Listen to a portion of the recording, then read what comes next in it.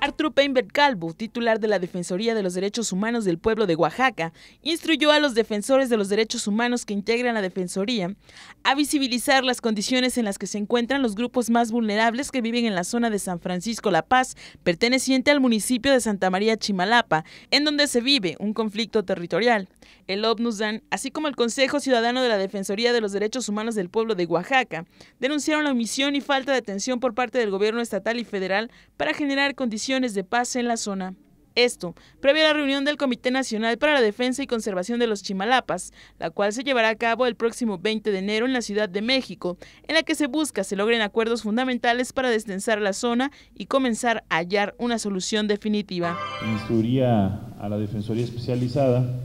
y a la Coordinación de Defensorías para que iniciemos un proceso en este sentido y que lo podamos estar visibilizando a partir del día de hoy si es necesario a través de la Dirección de Comunicación Social preparar algo específico e ir eh, haciendo visible cuál es la fórmula de observación que vamos a tener ahí. Que la omisión histórica del Estado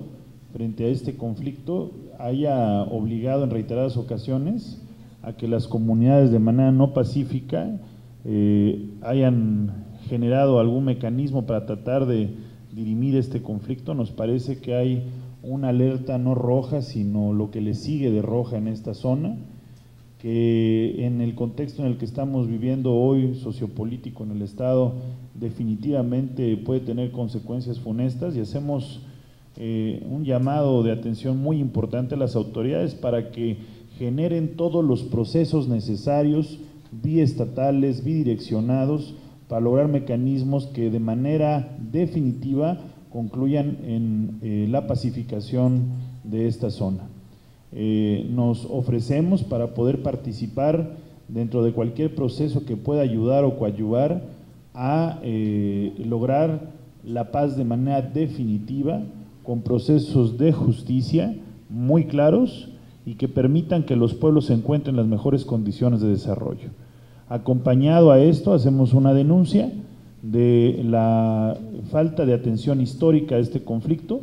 que ha derivado precisamente en este tipo de confrontaciones violentas que han tenido un deterioro en la vida humana de manera irreparable. De tal manera que animamos a que se valore este conflicto desde diferentes ánimos, de diferentes lupas, desde un contexto, por supuesto, jurídico, eh, desde un contexto en lo que respecta al derecho agrario, desde un contexto socioeconómico, antropológico, pero sobre todo eh, logrando generar los mecanismos necesarios, suficientes de pacificación con objeto de paz y con una em, preponderancia a vigilar que no sufran mayor menoscabo los sectores más vulnerables que están dentro de este conflicto, como lo han mencionado, las niñas, niños y este, adolescentes. Con imágenes de José Antonio Reyes informó para MBM Televisión Karime Cruz.